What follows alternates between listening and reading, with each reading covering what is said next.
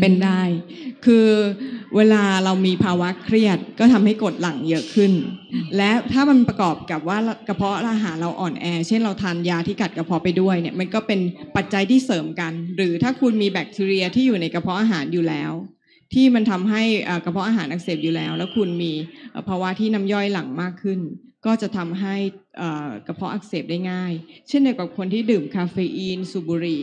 กลุ่มนี้ก็เป็นกลุ่มที่น้ำย่อยหลังมากเหมือนกัน